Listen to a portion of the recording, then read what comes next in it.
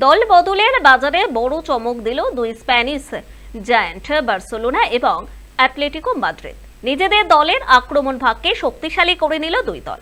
কাতালোনিয়ার ক্লাবে সই করিয়েছে সদ্য ইউরোজয়ী স্পেন দলের মিডফিল্ডার ড্যানি ওলমোকে।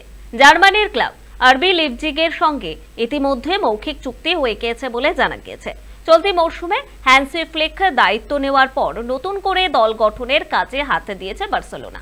জল্পনা চলছিল ড্যানি ওলমোকে দলে নিতে পারে স্পেনের জায়ান্টরা। সেই জল্পনায় কার্যত শিলমোহর পড়তে চলেছে। ইতালির দলবদল, বিষয়ক প্রখ্যাত সাংবাদিক ফ্যাব্রিজিও রোমানো এই তথ্য দিয়েছেন।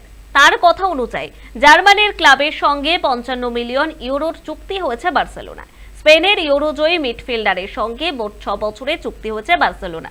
প্রসঙ্গত দু হাজার সাত থেকে দু হাজার চোদ্দ সাল পর্যন্ত এই ক্লাবের যুব দলে ছিলেন অলমো কিন্তু বড় দলে সুযোগ না পাওয়ার জন্য দু হাজার চোদ্দ সালে বার্সেলোনা ছাড়েন তিনি।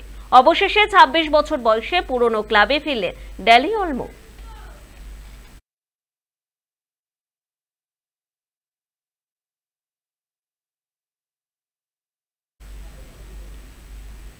অন্যদিকে বড় চমককে দিয়েছে অ্যাটলেটিকো মাদ্রিদও।